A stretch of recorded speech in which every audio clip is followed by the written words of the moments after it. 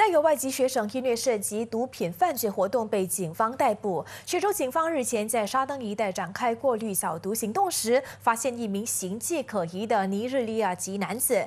当警方上前盘查时，男子竟然拒查，拔腿就跑，但还是马上被警员制服。警方随后在男子的车上发现大麻，随即扣留这名持有学生证的男子。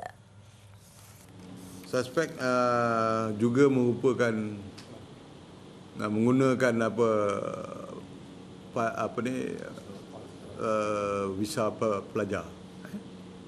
So kita telah menahan dia dan uh, siasat di bawah Seksyen 39B Akta Dadah Berbahaya.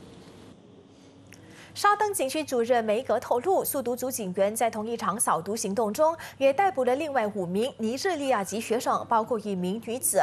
这五人也涉嫌在沙登一带贩卖毒品。警方调查发现，两宗案件被捕的一共六名学生，同样在吉隆坡敦拉萨路的一所私人学院求学。